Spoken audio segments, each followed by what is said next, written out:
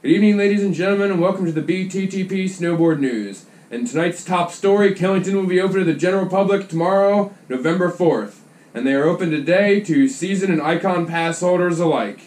In other news, No Shave November has started, and the predicted temperatures for the rest of the month will be below average, which is the exact opposite of how last season closed at above 70 degrees. And now to our sister station in the north for the follow up on that story. Well, warm spring weather finally arrived. A 70 plus degree day isn't how you typically envision hitting the slopes, but that's how this year's ski and snowboarding season wrapped up at one local mountain. WFMZ's Josh Rultenberg has the story on their unique end. It's the last day of the ski season. That it was, and folks at Blue Mountain Resort took advantage.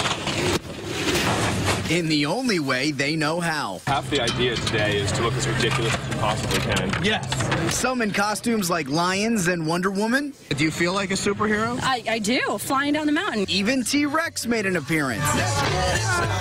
Others simply in tank tops, shorts, and well, their underwear.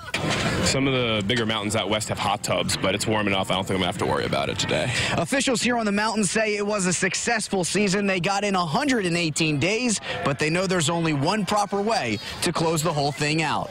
The pond skim. Some were successful and rode down the mountain in style.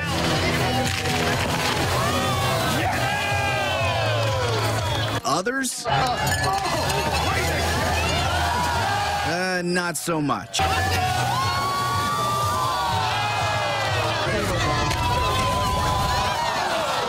Either way, it's time to hang it up. Till next year.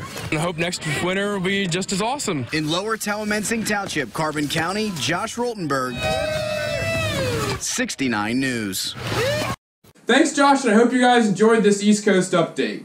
Comment below to let us know when your local mountains are opening or if you have any crazy cool pond skim stories that you want to share. Please subscribe, hit that like button, and slam that notification bell if you want to keep more East Coast board news and ride hacks coming straight to you.